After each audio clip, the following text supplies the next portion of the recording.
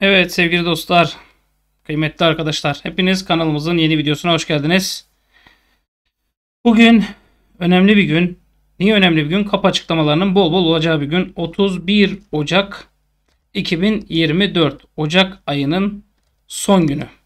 Yani e, bazı Avrupa ülkelerinde de transferin son günü. Arkadaşlar Fenerbahçe'de Arda Birben diyor ki kariyerin en güzel günlerini geçiren Sebastian Szymanski, Fred ve Jadon Osterwolde için Haziran ayında doğru iyileştirilmiş yeni sözleşme yapılmak isteniyor. Fenerbahçe yönetimi bu sezon mücadele eden kadrodan ve ortaya konulan karakterden memnun diyor. Yani 3 isim de öyle isimler ki yazın 3'ünü de satabiliriz. Garip. Fenerbahçe'miz UEFA Konferans Ligi kadrosunu 2 Şubat Cuma günü UEFA'ya bildirecek. Arkadaşlar ben ciddi bir sıkıntı buldum. Kimsenin dikkat etmediği bir şey buldum.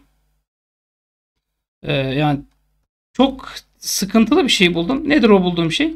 Şimdi mevcut kadrodan 3 oyuncuyu çıkartıp 3 oyuncu ekleyebiliyor. Mevcut kadroda olan isimlerden ben size bazılarını söyleyeyim. Miguel Crespo, Miha Zayt, Mert Hakan Yandaş, Ryan Kent. Hadi Mert Hakan Yandaş kalır e, Türk olduğu için. Onu saymıyorum. E, ya Crespo 1, Zayt 2, Kent 3, Joshua King 4, Umut Nair 5. Şimdi ben matematik gidiyorum. Umut Nair'i e, aldım dışarı. Miguel Crespo'yu da aldım dışarı. 2. Kaldı bana üçüncü isim. Zayt, Kent, King. Şimdi anladınız mı arkadaşlar? Yabancı kontenjanının e, ne kadar önemli olduğunu, yabancı transferinin ne kadar tuhaf olduğunu. Şimdi Crespo e, ve Umut Nair.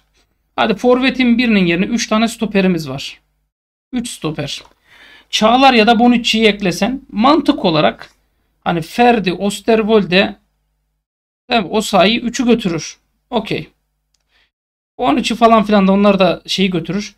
Benim aklıma şu geliyordu. Çağlar konferansa yazılmaz. Ligde Çağlar'la oynarız. Konferansta Bonucci Bonucci ile oynarız diye düşünüyordum. Kafama o geliyordu. Ha maksimumda çıkacağımız 7 maç. Ama bilginiz olsun. Şimdi bunlardan hangisini yazacağım? Zayt, Kent, King. PFDK Fenerbahçe'mize Başakşehir maçındaki çirkin ve kötü tezahürat nedeniyle 380 bin lira ceza vermiş. Profesyonel Fenerbahçe'yi durdurma kurulu. Beşiktaş resmen teklif yaptığı Gabriel Paulisto'ya Çağlar Söyüncü'yü Fenerbahçe'ye kiralayan Atletico Madrid resmi teklif yapmış. Araya girmiş. Beşiktaş başka birini istemiş. Ee, kulübü 5 milyon euro istemiş. Beşiktaş başka birini istemiş. Kulübü demiş ki hadi lan oradan demiş. 15 istemiş. İlginç. Bekao sakatlığını tamamen atlattı. Oynayabilecek durumda diye de haber yaptılar. Ee, süreç uzadı. Fred'de de biraz uzayacak arkadaşlar. Ama en azından sağlam döndü. Şimdi benim bir şey zoruma gitti. Saadettin Saran Fenerbahçe'ye başkan adayı olabilmesi için tüzük gereği toplaması gereken 500 imzayı dün öğle saatlerinde noter tasdikli şekilde Fenerbahçe Yüksek Divan Kurulu'na sunmuş. Yani buradaki amaç ne? Takım şampiyonluğa koşarken bunun gerçekten amacı ne? Onu çözemedim. İkinci bir olay. Bir skandal arkadaşlar. Bakın Türk futbolunda yabancı oyuncu skandalı. Şimdi hatırlatayım öncelikle seneye 12 yabancı artı 14 Türk futbolcu olmak zorunda arkadaşlar. 14 Türk futbolcu. Bakın 14 Türk futbolcu. Üstüne basa basa söylüyorum. Misal Fenerbahçe'nin an itibariyle yazarız diyeceği isimler. İrfan Can Eğribayat, Samet Akaydın kirada ama geri gelecek. Serdar Aziz, Ferdi Kadıoğlu 4, Mert Müldür 5, İsmail Yüksek 6, Mert Hakan Yandaş 7, İrfan Can Kahveci 8, Cengiz Ünder 9, Emre Mor 10, Umut Nahir 11. E, Umut Nahir de kirada. Bu arada Ferdi gitmezse, İsmail gitmezse Mert Hakan'ın sözleşmesi bitiyor. İrfan Can Kahveci gitmezse, Cengiz gitmezse 11. Artı arkadaşlar bakın 11. Ee, Çağlar Söyüncü kiralık. Hadi yazdık diyelim 12. Ferdi İsmail'i zincire bağlasak durmaz da. Neyse 12. Emir Ortakaya kirada 13. Emre Demir kirada belki 14. Bora Aydın'ı kirada 15. Burak Kapacak kirada 16. Bartu Elmaz da var kirada 17. Bakın şimdi arkadaşlar. Baktığınız zaman Fenerbahçe'nin 17 tane ismi var. Bu arada Bartu Elmaz e, konusunda da konuşacağım. Bakın 17 tane isim var. Ben buradan Mert Hakan'ı çıkartıyorum 16. Fenerbahçe taraftar istemez. Yanlış anlamayın beni Bora Aydınlığı falan da A takım kadrosunda istemezsiniz. 15. Emre Demir bu performansıyla Fenerbahçe'de zor kadro bul yer bulur. 14. Ferdi zincire bağlı tutamayız. 13. İsmail Yüksek'i tutamayız. 12. Ben size söyleyeyim. İrfan Cengo'dan biri giderse 11. Yine 3 tane Türk bulman gerekecek. Hadi bunları bir şekilde idare ettim ben. Bir şekilde atlattım. Ben bunları bir şekilde atlattım. Hiç sıkıntı değil. Peki Süper Scout arkadaşlar. Bize en kalitesinden Türk buldunuz. Bir de yabancı bulalım. 12 artı 14 ya. Sadece bize değil bu arada her takıma. İşin yabancı kısmı daha ilginç. Livakovic 1, BKO 2, Ciku 3, Bonucci 4, Osterwolde gitmezse 5, Kurunic 6, Fred gitmezse 7, Şimanski gitmezse 8, Tadiş 9, Ceko 10, Batshuayi gitmezse 11. Çok güzel. Osayi Samuel de bu kadroda 12. Yani şey doldu. Kontenjan doldu. Bu arada Osayi de gitmezse diyeyim. Çünkü Osayi'ye de ciddi talipleri var. Şimdi 5 oyuncu git, gitti diyelim. Bakın Bonucci yaşlı. Ceko yaşlı. Tadic yaşlı. Bana ne derseniz deyin. Takımda kalıp abilik yapacak da deyin. Eniştelik yapacak da deyin. Hiç fark etmez. Cao Pedro'yu bu arada sayayım. 13 yaptı. Bakın arkadaşlar. Artı Lincoln var. 14. Crespo şu anda kiralık. 15. Öyle değil mi ya? Yanlışım varsa düzeltin. Luan Perez var. 16. Zayt 17. Kent hala resmi olarak gitmedi. 18. Omar Fayet kiralık 19. Jorginho kiralık 20. Yani 12 tane isim çıkartacaksın. Giden olursa atıyorum 5 kişi gitti. Yine 15'e düşüyor. Yani kendine bir halt zanneden arkadaşlarım lütfen bana bir öneride bulunsunlar şunlar şunlar diye. Şimdi yabancı kural değişti diye seviniyorsunuz ama sahada 11 yabancı olacak diye seviniyorsunuz. İş hiç öyle değil. Mantıken 11 oyuncu da yabancı diyelim. Forvetinin yedeği de yabancı diyelim. Hadi. Kütür kütür kaliteli topçu olması lazım. 11'inin. Yedeklerinin de buna ayak uydurması lazım. Türk ve kaliteli oyuncular takımlara eşit dağıtalım. Emin olun takım başına 2 tane anca düşer. Kaliteli oyuncu. Ya parayı basıp alayım desem Anadolu takımının topçuları ciddi değere binecek. Yani illaki eldeki gitmesi gerekenler de olacak. Bu kural çok baş ağrıtacak. Ben şimdiden uyarayım arkadaşlar. Fenerbahçe Serdar Dursun'u kadrosuna katmak istiyor. İsteyebilir. Normal. Ben bunu size belirtiyorum arkadaşlar. Bas bas bağıra bağıra belirtiyorum. Umut Nair kiralık gitti. Umut Nair'in amacı şu ben oynayacağım bir takımda oynamak istiyorum dedi. Biz de kolaylık sağladık. Hocam Umut niye gitti? Öbürü niye geliyor? Bakın. Oyuncu oynamak istiyor. Ben Euro 2024'te oynayacağımı düşünüyorum diyor. Vesaire vesaire. Anlatabiliyor muyum? O çok mühim değil. Çok mühim değil ama e, Serdar Dursun'u istemek ben size anlattım arkadaşlar. Maddi durumu anlattım. Fenerbahçe'nin durumunu anlattım. Hepsini anlattım. Anladınız mı demek istediğimi? Yani umarım ne demek istediğimi anlamışsınızdır. Ee, anlamadıysanız da o da sizin sıkıntınız arkadaşlar. Şimdi ben nereden başlayacağım? Ben nereden başlayacağım? Sivas Spor Fenerbahçe'den Bartu Elmas'la sezon sonuna kadar kiralık olarak anlaşmaya vardı. Bartu gitti, imzasını attı, resmen de açıklandı. Şimdi Yunus Emre Konak Sivas Spor'da muhteşem bir performans sergiledi. Böyle ekmeği ekrana bandıracak performans sergiledi. Tam da bu mevkide oynuyordu. Sivas Spor o mevkide genç, dinamik bir isme ihtiyaç duyuyordu. Eğer Bartu Elmaz oynarsa, aynı etkiyi gösterirse Fenerbahçe'ye dönüşü muhteşem olacaktır. Dönüşü muhteşem olacak, muhteşem. Şimdi Miguel Crespo, onu da konuşalım. Fenerbahçe ve Rayo Vallecano, Crespo'nun satın alma opsiyonlu kiralık olarak anlaşmasında vardı anlaşmaya. Şimdi sözleşme şartlarını görüşmek üzere de oyuncu İspanya'ya gitti. İmza sürecinde tamamlamak üzere diye benim bu videoyu çektiğim sıralarda da haberi geldi. Yani %100 diyebiliriz. Crespo gitti arkadaşlar. Bakın %100 Crespo gitti diyebiliriz. Anlatabiliyor muyum? Şimdi burası da okey. Burada da bir sıkıntı yok. Ee, bir haberim daha vardı. Emre Mor. Şimdi Emre Mor konusuna girelim. Arkadaşlar Emre Mor açık söyleyeyim benim çok katkım olmuyor Fenerbahçe'ye. Kendime de gelmem lazım dedi. Ve biz de gitmek istiyorsan seni şu takımlardan birine gönderelim dedik. Göndermek istediğimiz takımlardan birisi de Fatih Karagümrük'tü. Niye Fatih Karagümrük hocam? Niye başkası değil? Hani bizim Fatih Karagümrük'le ne ilişkimiz var? Fatih Karagümrük eski takımı. Bu bir. İkincisi bak ikincisi Fatih Karagümrük'te bu çocuk coştu zaten. Üçüncüsü İstanbul içi takımı. Dördüncüsü, beşincisi hani tek tek tek tek tek saymaya gerek yok. Anlatabiliyor muyum? Şimdi nereye varacağımı hepiniz merak ediyorsunuz. Arkadaşlar Emre Mor'un temsilcisi dün görüştü. Fatih Karagümrük tesislerine gittiği kulüp binasında görüştüler. Bu sosyal medyaya yansıdı. Hani Emre Mor'un Fatih Karagümrük'ten artık anlaşmaması sürpriz olur. Öyle bir seviyeye geldi. Hepiniz de bunda herhalde hem fikir oldunuz. Burada bir sıkıntı olduğunu düşünmüyorum. Sevgili Sercan Hamzoğlu diyor ki Emre Mor'a en iyi teklifi Karagümrük verdi. İstanbul'da kalmak isteyen futbolcu için menajeri kulüp binasına gelen teklifleri yöneticilerle görüşüyor dedi dün. Ve hani Fenerbahçe ve Fatih Karagümrük Emre Mor transferi için başkanlar seviyesinde anlaşmaya vardı.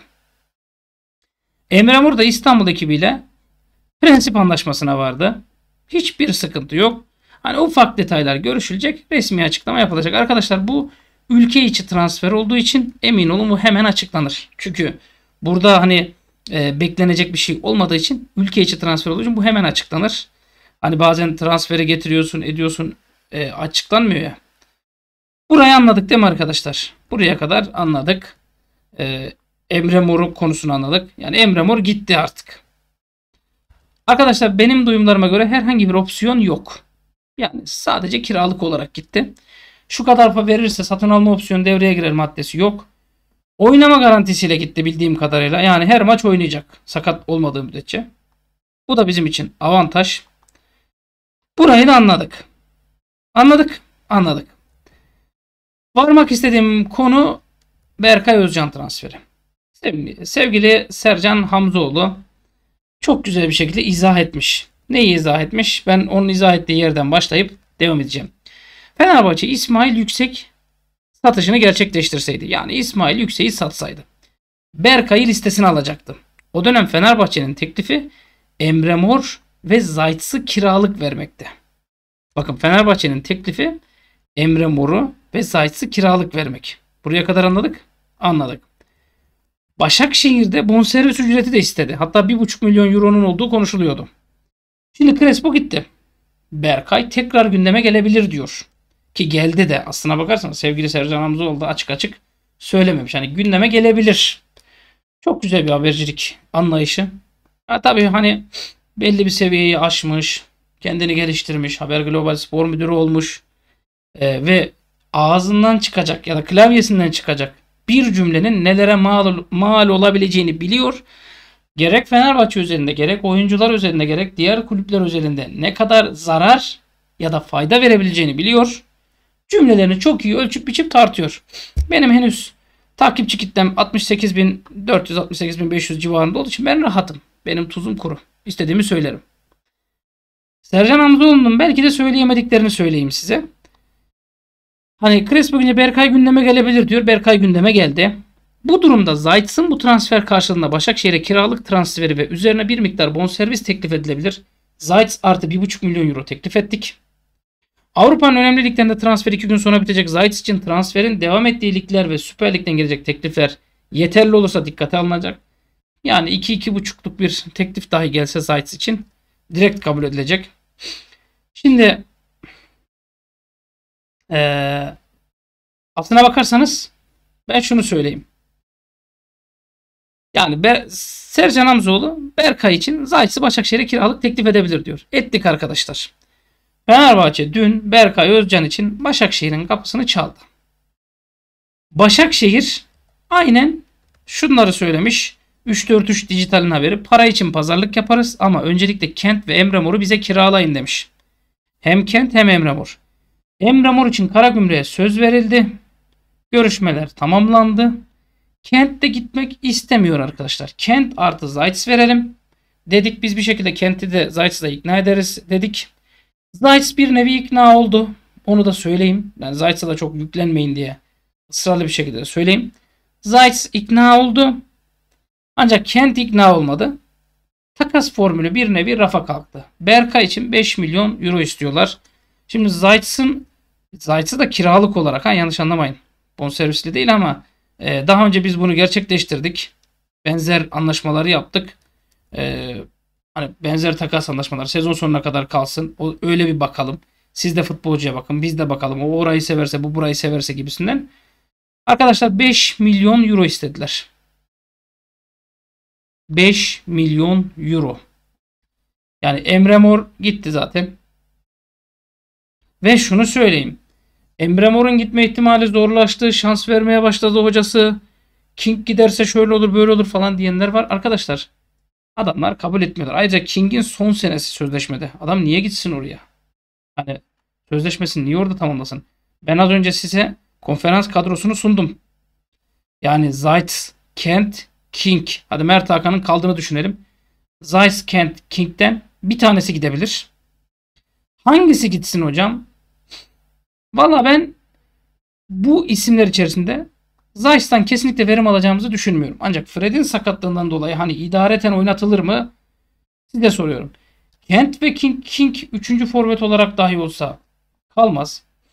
Hani bir e, şey var ama Tadic'in yerine oynadığı bazı maçlarda sanki bir ışık verdi gibi. Kent'ten zaten temelli ümidi kestik. Keşke Kent'i 8 numara falan deneseydik. Bence Kent'ten iyi 8 numara olurdu. Kaleyi gördüğü yerden bombalardı. Mücadele gücü yüksekti. Yani arkadaşlar konferans liginde üçünü de gönderirsek kadro eksik kalacak. Eksik kadroyla devam edeceğiz. Bir daha da ekleme çıkartma yok arkadaşlar. Bilginiz olsun. Durum bu. Ve ee, durum bu arkadaşlar. Şimdi dönelim Serdar Dursun olayına. Şimdi ben Serdar Dursun'un Fenerbahçe'ye transfer olacağını düşünüyorum. Kesinlikle düşünüyorum. Hatta bence Fenerbahçe'ye geldi bile derim. Erencan yardımcı için de hani adamlar da boş takım değil. Ee, Erencan için de ciddi bonservis istiyorlar. Olmadı şu takas diyor. Bizim futbolcularda birinci lige gidecek halleri yok. O yüzden bu da sıkıntılı arkadaşlar. Adrian Benezciyak arkadaşlar Benezciyak'la ilgili geçen gün de söyledim. Şimdi de söylüyorum. Tekrar tekrar söylüyorum. Oyuncu bize kesinlikle gelmeyecek. Ha gelirse her türlü özrümü de dilerim. Bu duyumu ortaya atanlardan da özür dilerim. Hiçbir şekilde planlama da yok. Hiçbir şekilde gelmeyecek arkadaşlar. Bilginiz olsun. Matios Saldanha Saldanha da gelmeyecek arkadaşlar. En azından bu transfer döneminde gelmeyecek. Ama takipte kalacağız. Bakın hem Saldanha için söylüyorum ee, hem de Benezciyak için söylüyorum. İkisi de gelmeyecek. Yani ama sezon sonunda ben iki futbolcu için hiçbir şey diyemem. Sezon sonunda o zaman konuşuruz. Ama şimdi durum bu arkadaşlar. Yağız Sabuncuoğlu'nun bir duyumu var. Bence onunla da bitirelim. Diyor ki İsmail Kartal 2-3 yerli forvet adayımız var dedi. Ama birini söylemeyeyim boş ver. Benim Sky Sports genel yayın yönetmeni olmam gibi çok da yakın olmayan bir ihtimal. Aklıma iki tane isim geliyor. Enes Ünal 1, Kenan Yıldız 2. Yani Enes Ünal'ın gelme ihtimali daha yüksek. Kenan Yıldız'ın gelme ihtimali daha düşük. Demek ki Kenan Yıldız'dan bahsediyor dedim diyeyim. Bence imkansız diyor. Sizce bu forvet kim demiş arkadaşlar? Şimdi Kenan Yıldız'la ilgili şunu söyleyeyim. Arkadaşlar Juventus'un oyuncusu adamlar oynatmaya da başladı. 18 yaşında olsa da adamlar çocuktaki ışığı gördü. 10 milyon euro transfer market değeri var. Biz bir ara istedik 15 milyon euro çektilerdi. Yalvardım alın bu çocuk 15 eder dedim ama dediler ki bu yaştaki bir çocuk 15 etmez. Serie A'da 12 maçta bir gol, bir tane de sarı kartı var. İtalya Kupası'nda 2 maçta 2 golü var. E, Serie C, B'de yani e, 7 maçta 2 gol 1 asist bir de sarı kartı var diyor. Oyuncu Juventus oyuncunun ekmeğinden, suyundan, sütünden ciddi faydalanma peşinde. Bayern Münih altyapısına yetişen oyuncuyu. 21 maç 5 gol 1 asist 1072 dakika. Töbe vermezler. Bugün 25 milyon euro teklif etseniz yine vermezler. Enes Ünal'a gelelim. Bir yıl sonra bitecek. 2025 Haziran'da bitecek sözleşmesi. 26 yaşında 25 milyon euro olmuş transfer market değeri ki bu sezon sakatlanmış herhalde. Geçen sezon bomba gibi gidiyordu. Bu sezonda arkadaşlar 5 maç 2 asist mi var? 2 asisti var. 197 dakikada. Yani ciddi bir sakatlık geçirmiş belli ki. Yoksa şu ana kadar böyle olmazdı. Biz buradan anladık değil mi arkadaşlar? Kenan Yıldız olduğunu. Hani Enes Ünal zaten şey yapılacak isim değil. Ha şunu da söyleyeyim. Bu tip isim vermek de mantıklı değil. Niye mantıklı? Ya abi şimdi böyle dediğin zaman da insanlar haya yani beklenti içine girmiş oluyor. Olmayınca da ya arkadaş ala ala Serdar Dursun'u mu aldınız oluyor. Ya Serdar Dursun da iyi bir Fenerbahçeli. Hocam Galatasaray maçında 2 puanını çaldı. Ya Serdar Dursun o pozisyonun offside olduğunu anlasa sizce bırakmaz mıydı? Yani düşünsenize bak Fenerbahçelisiniz. Kaçınız uykuya dalarken Galatasaray maçı oynamadınız hayalinizde? Ya ben çok oynadım. Uzun lafın kısası arkadaşlar Fenerbahçe kadrosunda 29 futbolcu gösteriyor. 213.05 milyon euro diyor. Bu arada şeyi de çok merak ediyorum. Ee, Galatasaray'ın transfer market değeri şey gittikten sonra kaça düştü? 196.83'e düşmüş. Saça boya yani en pahalı isimlerinden biriydi. Şimdi de bazı isimlerle Fesih Mesih falan filan düşünüyorlarmış. Ben alakadar etmez. Bu Icardi'nin 20'de hala kalması bu kadar kötü performanstayken şaşırtıcı. Neyse. Ben şunu söyleyeceğim arkadaşlar. Fenerbahçe'de an itibariyle gidenler, kalanlar mesela Luan Perez'in lisansı çıkmayacak. Ama yedekte kalacak. Hiç çıkmadı. Çıkmayacak da. Ee, onun dışında mesela gitmesi Lincoln düşünülüyor. Ben Lincoln'u göndermezdim açıkçası. Crespo'ya 4 yazılması mantıklı mı? Arkadaşlar Berisha'da da aynısı oldu. Zamanı geliyor istemiyorsunuz. Zamanı gelince de diyorsunuz ki ah keşke gitmeseydi o çocuk iyiydi. Kent'te 7 milyon euro yazıyor. Joshua King'de 3,5 milyon euro yazıyor. Arada 5 yaş var. Bana sorsanız ben King'i gönderirim. Kent'i tutarım. Ve Kent'ten farklı pozisyonlarda yararlanmaya çalışırım. Ama bana sorsanız Emre Mor da gittikten sonra bakıyorsun Batshuayi, Edin Dzeko. iki tane forvetin kalıyor. İrfan Can Cengiz sağ kanat. Tadic sol kanat. Kent ve King var orada sol kanat oynayabilen. Ama ikisini de gönderme niyetim var. Çok zor. Bence bir tane sanca gider. Ee, King'e teklifler var. Kent gitmek istemiyor. Bir şekilde oynatılır mı? Bunu da size bırakıyorum. Şimanski, Mert Hakan, Zayt, Crespo gideceği için bak Crespo 1, King 2. Yani burada bir isim daha gitmesi gerekiyor. O da kim olacak? Mesela Lincoln'le de teklifler var. Ortalık karışık arkadaşlar. Transfer süreci bitene kadar bu ortalık böyle karışıp durur. Hakkımızda hayırlısı olsun. Her şey için hayırlısı olsun arkadaşlar.